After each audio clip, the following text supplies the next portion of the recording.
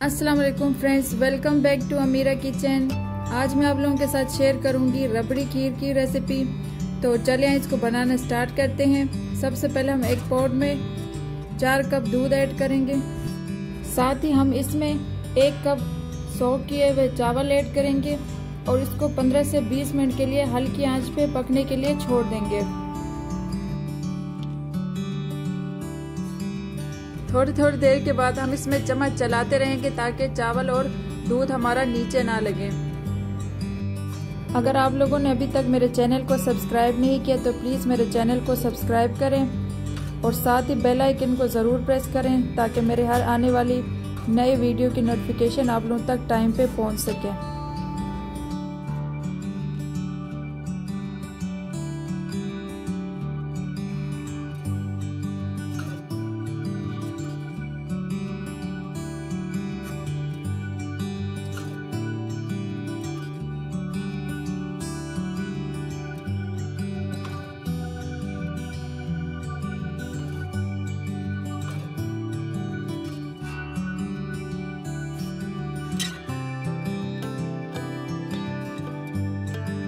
पंद्रह से बीस मिनट के बाद दूध हमारा अच्छी तरह गाढ़ा हो जाए तो इसमें वन टेबल स्पून बादाम वन टेबल स्पून पिस्ता और one cup condense milk add करके अच्छी तरह इसको मिक्स करेंगे।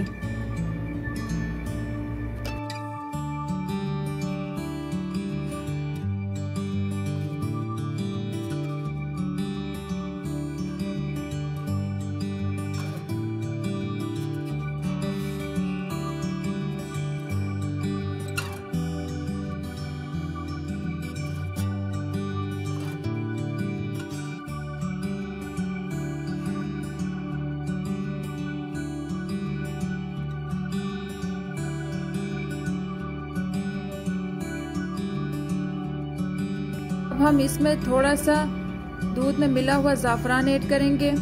ये ऑप्शनल है। आप इसकी जगह इलायची भी ऐड कर सकते हैं। अब हम इसको अच्छी तरह मिक्स करेंगे।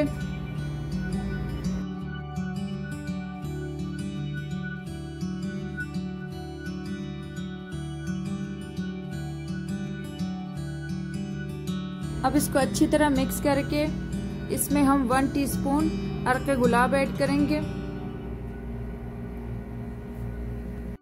और मज़ीद इसको 15 मिनट तक पकाएँगे ताकि ये अच्छी तरह गाढ़ा हो जाए।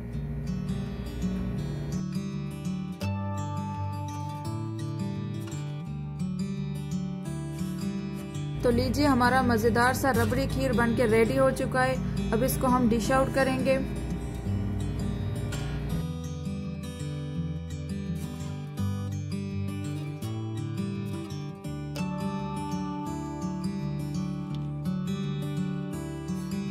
खीर को डिश आउट करने के बाद इसको हम पिस्ता बादाम के साथ गार्निशिंग करके फ्रिज में ठंडा होने के लिए रख देंगे।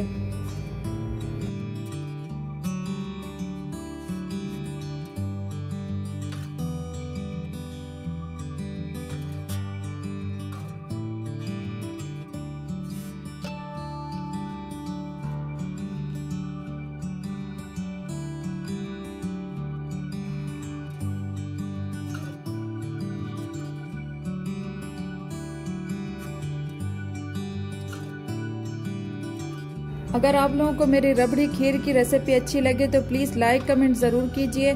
मेरे चैनल को सब्सक्राइब कीजिए। अपनी फैमिली फ्रेंड्स के साथ ज़रूर शेयर करें और ईद में इसको ज़रूर ट्राई करें। बहुत ही क्विक और इजी रेसिपी है।